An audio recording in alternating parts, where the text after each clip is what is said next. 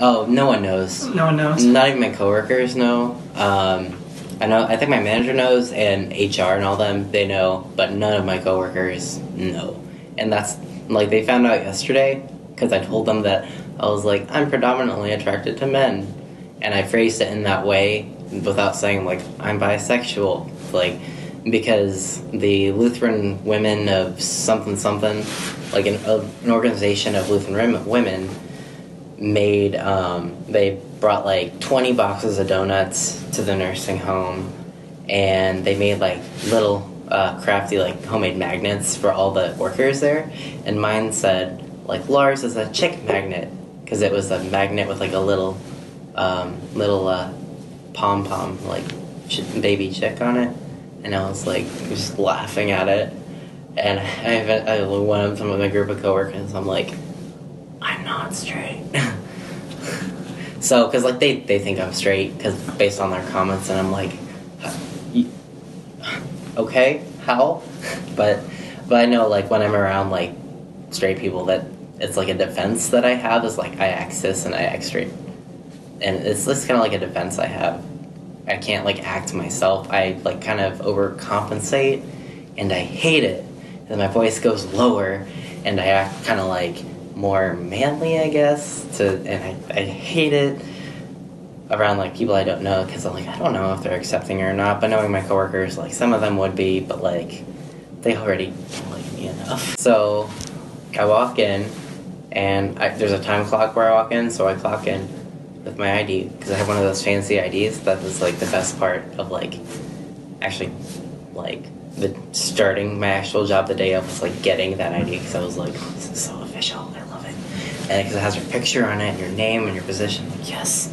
Well, you get the ID and you, you have to swipe it to get into the building, and then you swipe it to clock in and get your fingerprint to clock in, and then you walk in and to get into like the nursing home side. And there are all the residents. Some are sitting by the TV, some are like in the rooms, and some are like crowded outside the the dining room. Even though it's like I start at four, and that's when dinner starts, and I get there like early.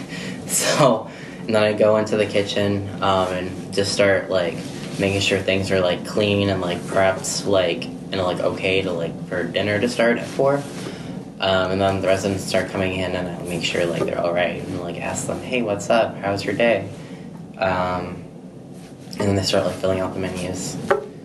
Uh, I take the menus from them, uh, and I make sure like they've circled enough like to eat. Because if they if they circled like just a starter, like Jello and coffee, like no, you you gotta circle more than that. And then like I try to like prompt them like, hey, what about this? And if they don't, I like circle something for them, or like I'll get them something from the kitchen that they might want. So and then get all the menus like in a pile like that I do, and then I bring out like their it's called salad bar, which is like the starter basically, which you, you can choose from Jello, um, salad, or uh, cut fruit or cottage cheese, and then like whatever drink you want. You can have like any amount of drinks unless you're on like a special diet, which is like a limited thing. Or if you have like a thickened diet, you can have like a thickened uh, drink, which is just like kind of like a gel type stuff. Like it's either a thickened nectar thick or honey thick, and honey thick is the thickest. So the, the most disgusting thing though is like thickened water because it, it just looks like someone spit into a cup over and over and over. And I do not blame them for not drinking it. Um, and then once all the menus are in, we because we take them up to the cook and put their diet cards with their names on top. Uh, then bring, bring, uh, the plates start being put up on the line. I bring their plates out to them and make sure it's all right. Because a lot of times they'll say, "I didn't order this," or "I ordered something else," because they're forgetful, or we genuinely made a mistake. But like ninety percent of the time, they they're very forgetful, the residents. So, um, but if they like think they ordered something when they didn't, we just switch it out and let them know, "Hey, you forgot," or "You made a mistake," but it's okay. I brought it for you anyway. So anything to like avoid conflicts and stuff. Because if they, some of them get very angry, they'll like throw their food or like dump their coffee on the white tablecloth. But it's okay. I mean, I mean they live there, so yeah. Um, and then while they're eating, and just clean up from like that the um, frenzy that is like getting out the drinks and everything, and um, make sure everything's all right, and get them anything they need. Um, and then when they're finished, start ta- taking plates and stuff. Uh, dessert, which is always like they'll put on the menu, like the typed up menu that it's like some kind of fruit. We get them ice cream. Like everyone wants ice cream. There's this one guy who always wants Oreos. Like last night, he's like, "You got any Oreos?" Because we had been out of Oreos for like a week, and I was like, "We restocked our snacks. We do have Oreos," and his face just lit up.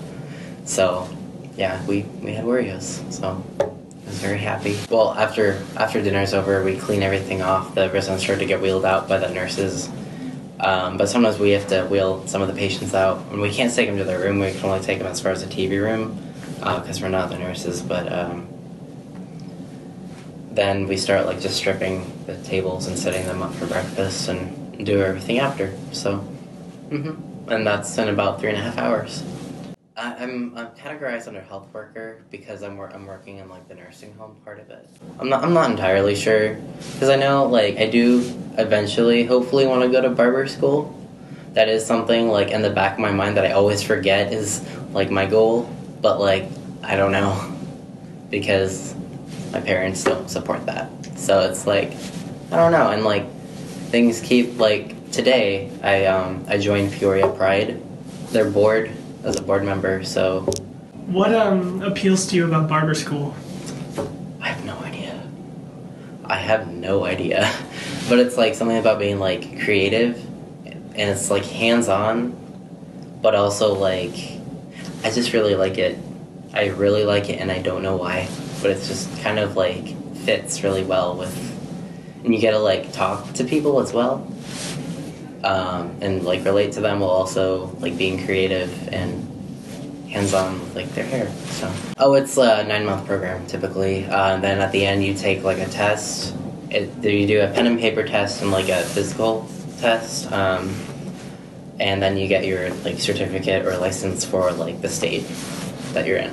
So, yeah, Is it expensive? uh, it's a thousand dollars, which for nine months of schooling is not horrible. And that buys like all your supplies that you need and that's like the only thing you pay for. The one barber school I've been looking at, it's like 9 a.m. to 4 p.m. So uh, five days a week. So it's probably not. It wouldn't happen. I don't think. I'd be spread a little too thin. So What do you think you'd have to? Where do you think you'd have to sort of be in order to do barber school? like location wise or No, just like in your life. You know what I'm saying? Like Yeah. in, with your job. Hmm. Yeah, I don't. I don't know. I'd have to be a good place financially. Um, I'd have to be in a good location.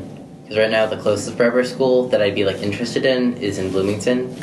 I am in the Peoria area, so it's like 45 minutes. So that's like one way. So